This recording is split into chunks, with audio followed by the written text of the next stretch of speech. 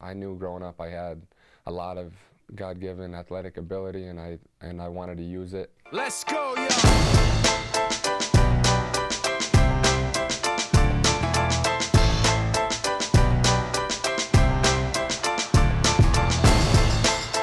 John Madsen began his college career as a walk on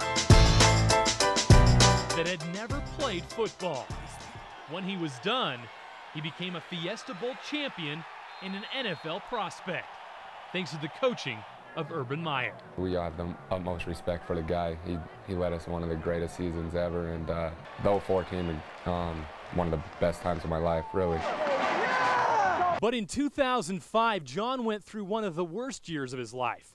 During his senior year, he was leading the team in receiving until a game against New Mexico when he suffered a horrific leg injury, a bad break that many thought would end his career. Um, it was a bad break, you know. I as soon as as soon as it happened on the field, I knew it was bad. Immediately, I was looking at a timetable, asking them how long they thought it was going to take for it to heal, and none of them was really giving me any answers because they knew they knew it was pretty bad.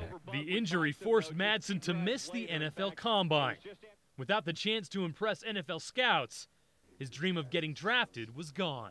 From that point, it was like you're not going to get drafted. You're just going to have to go in and try to make the team as a free agent, stuff like that.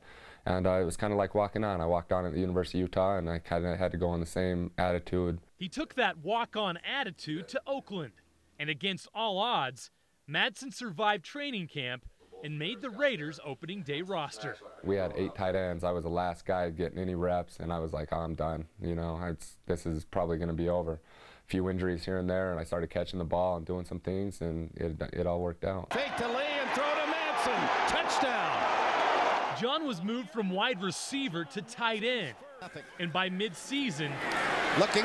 the former walk-on became an NFL starter. Nicely done to Josh Madsen, the rookie free agent out of Utah. But his success was bittersweet.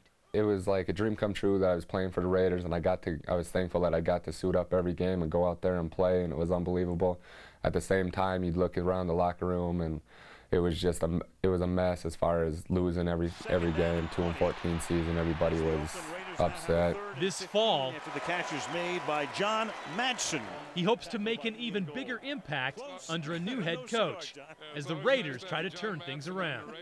You hear people saying you can't do things and you're not going to make it. If you make it, you're not going to play. And every day you don't want to practice. You kind of have that in the back of your mind. You go out there and try to prove everybody wrong.